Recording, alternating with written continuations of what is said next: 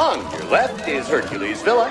Our next stop is the Pecs and Flex gift shop, where you can pick up the great hero's 30-minute workout scroll, Buns of Bronze. At one, you got a meeting with King Augeas. He's got a problem with his stables. I'd advise you not to wear your new sandals. Phil. I told you don't move! GR, the Daughters of the Greek Revolution. At three, you gotta get a girdle from some Amazons. Phil, what's the point?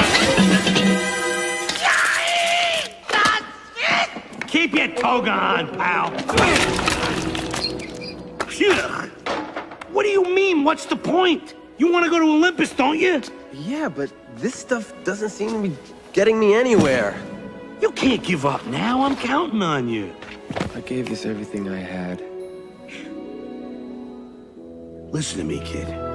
I seen them all, and I am telling you, and this is the honest to Zeus truth. You got something I never seen before. Really? I can feel it right down in these stubby bow legs of mine. There is nothing you can't do, kid. Watch it, watch it. Hey, girl, break it up, break it. Help! Okay, escape plan beta. Gotcha. Hey, where is he? Here he goes, on the veranda. Whoa!